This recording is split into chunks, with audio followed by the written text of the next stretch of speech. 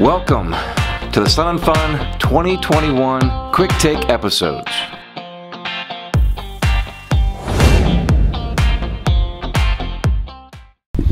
All right, still here in uh, Sun and Fun 2021, Saturday, and uh, I want to stop by the Hawk Arrow 2 booth. Um, there's a few few changes have happened over this past year or so. A new owner and wants to do some really neat new things. So I'm gonna let uh, Joseph uh, Shirley introduce himself and where he's from.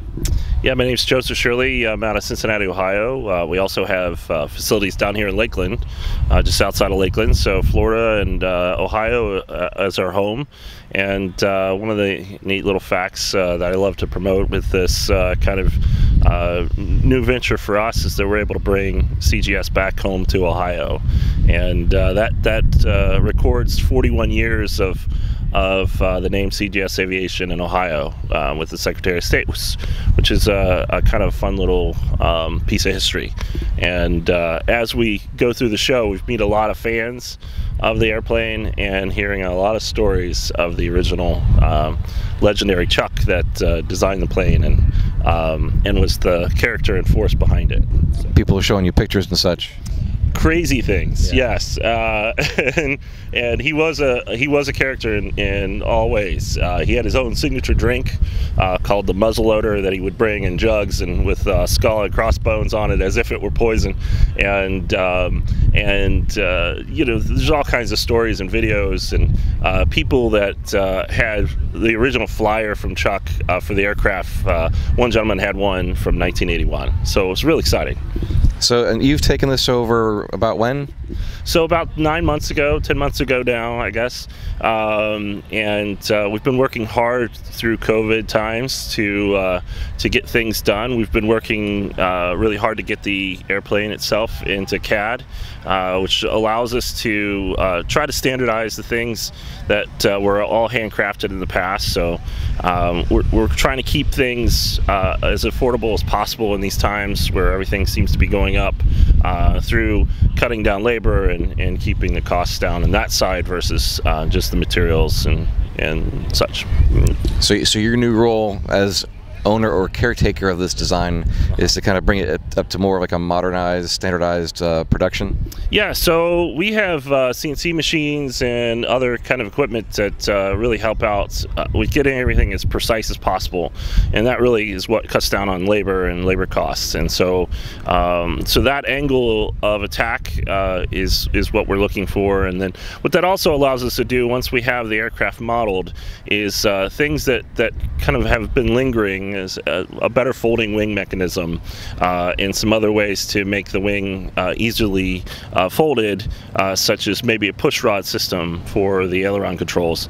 Uh, those are all things that'll be a lot easier to do once the once the bird's into CAD, and we're pretty far along in that process. the other thing that that'll also do is it'll allow us to um, to create and integrate our CAD models into the build process for first time builders. Um, this aircraft is really attractive. It's simple and straightforward. But that means there's a lot more detail that we need to get into the, the manuals and uh, the, the hand drawings that have been used up to this point um, really need some refining for uh, today's consumer. Uh, and so that's what we're focused on and being able to do explosive views, being able to show people literally how things flow together um, is uh, has been a part of the focus on that CAD model as well. So this will become a, an even easier and quicker quick build moving forward and you're offering um, well a couple different things. And as a kit uh, experimental and then this behind us is actually an SLSA yeah, so the SLSA, we have it in a lot of different flavors. So SLSA, ELSA, uh, full home build experimental, um, kit build, and I think what we're focused on is tr try to, to accommodate that uh, first time builder market and allowing uh, for them to get right into it without a whole lot of headache. And uh, some of the things we're trying to do is in our avionics package, for instance, things will come pre-wired and ready to go, um, installed in the panel even with labels. So, so you, you order kind of uh, A, B, and C flavors of avionics, and then they come together um, where you're hooking up uh, powers and grounds uh, and some of the plumbing, and then you're off to the races. I, I think that's a big uh, hurdle and scary thing for first-time builders. So, what uh, if somebody were to order a kit and go the experimental route? Um, what does it look like when it shows up, and what is left to do to get it to fly? So what we um, have been doing a poll and survey during the show, uh, trying to figure out what what the uh, tolerance is for construction, and asking the consumer, hey, uh, what do you guys, the builder, hey, what do you guys uh, think about us providing it in this sort of standard quick build form, where the uh, superstructure is built in a jig, uh, everything's square, all the all the the, the superstructure uh, superstructure. I like that. Yeah, well, uh, it's the it's the bones, and uh, that that allows for still a lot of tasks to be done. So uh, all the wiring and plumbing and engine installation and avionics uh, and this and and then the covers. Um, that's something about our aircraft. Um, putting the covers on isn't a scary thought. Um, you know, when you're doing a standard traditional covering uh, like you might find on a Cub, um, there's a lot. That's a long process. Ours is pretty straightforward, uh, and the gentleman that uh, sews our our sail covers has been doing it a long time. And this is the pre-sewn Dacron cloth, correct? Envelopes yeah, the envelope system again it's been refined over the last 40 years, so uh, so it's a, it's a proven system, uh, and everybody's worried about how long it'll last, and, and, it's just like anything. You take good care of it, you understand its limitations, um, you treat it with some UV protectant, um, and you keep it inside as best you can it'll last you a good amount of time. So, what engines do you currently have available uh, or as options? So, with the SLSA, uh, we have two options uh, right now. Unfortunately, uh, our third option was the HKS, um, but that's out of production. So, we're, we're sort of stuck with the 582 and the 912 UL, which is the 80 horsepower variant. So, an experimental obviously is experimental, so sky's the limit. Yeah, sky's the limit on the experimental. Uh, we've talked to lots of different manufacturers. Uh, Yamaha engines are, are, kind of a new thing that's being uh, used, and we've talked to the guys that make um, make the gearboxes for those and kind of put those packages together. And so there, there are a lot of stuff on the horizon. I think that'll be really appropriate for our, our airplane. So being that this is a pusher and is mounted up high on a post, and I see you've got some triangulation going on in that. Is there uh, what is the limiting limiting factor to either horsepower or weight for an engine, maybe? So for us, uh, with the SLSA, the uh, the 582 and the 912 UL at 80 horsepower has been tested.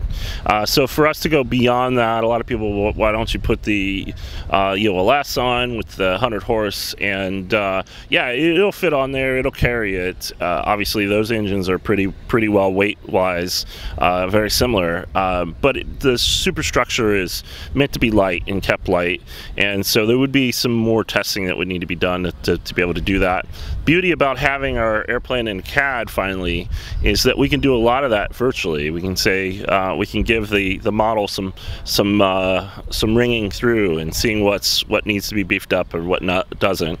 And uh, so there, that's some of the other things that we can kind of speed up the process of if uh, if we get down that road. We are partnering with great companies like Dynon Avionics, Airworx, AirTech Coatings these sponsors make all of this original aviation content possible. So I invite you after this video to check out the links below and say hello to our sponsors. Tell them you found them here on the Experimental Aircraft channel. All right, so tell me what it's like to operate and fly and, and some of the speeds that uh, you'd expect, you know, for for takeoff, climb out, uh, what it stalls at, you know all the important stuff. Yeah so uh, with our airplane it's all based around weight. So uh, if you're a lighter person and you've got the smaller engine uh, you're going to be able to stall a lot uh, uh, uh, at a lot less speed. Um, our aircraft is one of the few in this category that has flaps. So you're able to use that that flap system to to, to help in that stall. Um, but you know Terry the gentleman that owned the business before me that still helps me along in this process uh, likes to say 50, 50, 50. So you take off at 50, you fly at 50, you land at 50. Um, to keep it simple, uh, I like that idea. But uh, as your as your familiarity with the airplane grows, as your skills grow with it, and your confidence in it, it's uh, it's a simple airplane to fly. Everybody loves it. Um, you can push the envelopes, so a little faster, a little slower. And going back to the airframe uh, design and more so the controls, um, you're doing something a little bit different than a lot of the ultralight class, if you will, with the controls like on the ailerons. Talk to you about that for a second. So uh, with the control, what we're what we're looking to do uh, is is use a push rod system, if that's what you're referring to. Well, and, and currently you're, you're using pulleys and yeah, pull pull pull on the on the aileron, uh, very traditional as you would find in a lot of airplanes built in the 30s even. Um, and I think for us to make the folding wing a more viable option, uh, we need uh, everything to be a little more simple and um, and a push rod system would definitely do that. It might be a little bit more and um, raw material costs, but uh, simplicity, uh, it'll be really straightforward. And one of my goals with any change that we make, it'll be something that will be easily retrofittable to all aircraft. So if we do it to our new airplanes, we want to be able to offer that up to everybody else. So that's something we're keeping in mind uh, when when we're when we're doing any change like this. Sure. So what is uh, the price point? Let's start off with uh, uh, the builder side of things. If yeah. well, first off, can you can you order as like in sections? Like a lot of people start in a tail, or I don't know, some type of control surface, or do you get the whole whole kit? And then what's the price point on a kit? So our aircraft is uh, a little bit different than maybe an RV or a RANS where you can order different parts in different stages. Uh, everything's sort of built uh, together to match. So the boom uh, and the fuselage and the wings, they're all kind of built um, at the same time. And uh, so, so, unfortunately from that point of view, you have to build the, you have to buy the whole kit. And with uh, the, the the, the kind of built up version that we're, we're looking at uh, moving towards versus you getting a box of parts. Um, maybe more of a rolling chassis is sort of what we're leaning towards. Um, you know, you're you're looking in the twenty thousand dollar range, and we're, we're we're not posting pricing right now only because uh, things are so volatile. Uh, so we're trying to make sure that we can keep it as affordable as we can without uh, boxing ourselves in. Yeah, money understandably because two by fours are going up a dollar a week it seems like right now for for construction of homes understand yeah, um, yeah. so that's the price point uh, around that area for uh, for a kit uh, moving on up what else is there so options, um, you know, we, we've uh, we've upgraded the brake system, for example, to Matco, uh, to more of a LSA standard for, versus uh, an ultralight standard brake. Uh, you know, in the old days, they weren't necessary options uh, brakes were optional, and so uh, having a, a, better brake and the aircraft behind us, we were definitely concerned with that, with the tire diameter. Being able to actually stop that wheel from turning uh, will take a bit of torque, and so we work with Matco um, to to get a good combination of wheel brake, tire, rim, uh, and axle. Um, and that's one of the other things that we work to be able to um, speed up production as well using Matco's axle. Um, that attachment point is, is really straightforward and strong. So this is a lightweight aircraft. And you got, uh, I think, 27-inch tires. Are they considered flotation devices at this point? At this point, they very well may be. Uh, if you have to ditch in the ocean, you might want to use one as uh, as a flotation device for sure. So, um, so I mean, we, we, figured, it, you know, hey, what what makes sense? And uh, 27 inches is, is what we uh, what we were able to settle on. And uh, well, it definitely makes it look more fun. That's that's for sure. Yeah, we are uh, we are we're taking an aircraft that already has uh, pretty good STOL capability, and we're putting some ridiculously large tires on it. And so um, so this is the first of its of its kind for the Hawk, and uh, we'll see what it actually allows us to do. But I'm pretty confident it's gonna it's gonna do well. Awesome. So, what um, is roughly? I mean, everybody I've talked to in manufacturing right now and aviation is just absolutely busy. Ironically enough, with everything going on, everybody wants to stay at home and, and build something. So, uh, what would be the current lead time for if I ordered a kit today and get it delivered to my house? We're telling people between three and three and six months. Uh, we have two uh, quick build kits available right now uh, that we've been working on, and uh, so those will be relatively quick. Uh, and then uh, future kits, three to six months. full builds, um, I would say more like six months. once we get a back the backlog of aircraft builds cleared out, um, but I'm trying to standardize things keep the options uh, to a, a, minimum that'll allow us to uh, do things like pre-build wiring harnesses, uh, pre-cut wires that we need to do for running batteries and such, and um, and the plumbing, kind of keeping all that stuff standard, all the tedious stuff that takes a long time.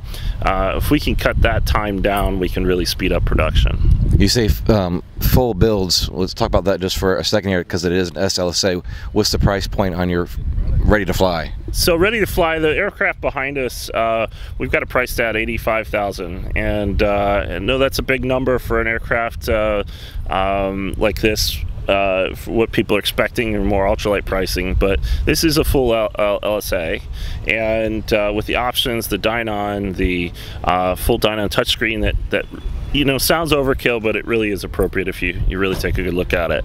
Uh, it fits in our aircraft really well. And then the uh, the 912 is sort of at the top of our uh, price range uh, as far as options, optional engines. Um, tail wheel and tires those kind of things uh, kind of add into that price so i would say between 65 and 85 is a good price range for a completed aircraft okay all right well thanks for taking a few minutes out of your day to uh, talk about this and explain the new ownership and if somebody wanted to get in touch with you to order one or ask more questions, where do they go? cgsaviation.com. Um, and uh, my email is joseph at cgsaviation.com and 513 205 1650. Awesome. Thanks. Thank you. Thanks for watching this week's episode of the Experimental Aircraft Channel. Remember to like and subscribe. Check out our brand new website at experimentalaircraftchannel.com. I'll see you in the next episode. Thanks for watching.